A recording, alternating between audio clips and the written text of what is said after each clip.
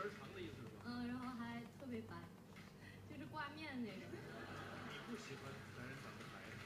是啊，我喜欢有点肉感的，然后比较沉稳、睿智的那种。